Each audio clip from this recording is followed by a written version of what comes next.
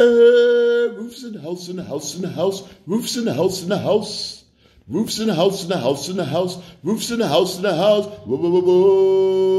Hey y'all, how y'all doing today?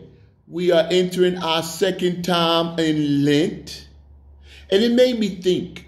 It made me think when I when I heard about the gospel within the scriptures. I thought about how we can live in fear.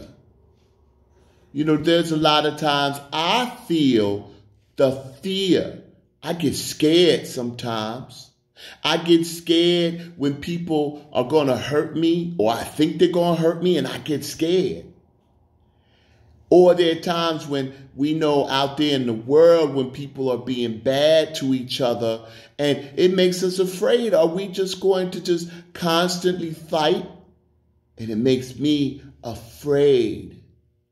But you know, what we hear in the scriptures, what we hear in our gospel in the second Sunday in Lent, is that we are called to act justly and look to God in our fear.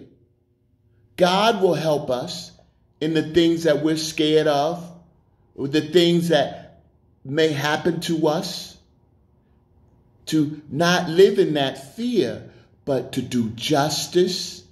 And if someone's treating other people poorly, we go and we help out the people who are being abused and hurt and who are scared.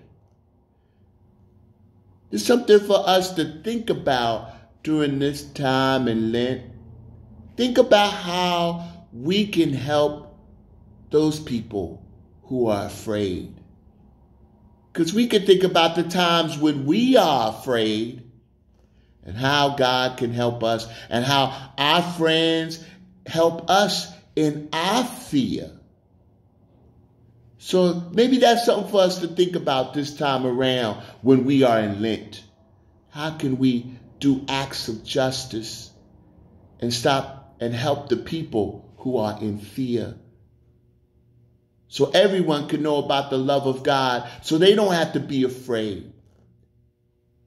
All right, well, you take care. The Rufus is in the house, and I'll see you next time. Uh, Rufus in the house, in the house, in the house, Rufus in the house, in the house, Rufus in the house, in the house, in the house, Rufus in the house, in the house. Whoa, whoa, whoa, whoa. You, you, you, you, you, you, you.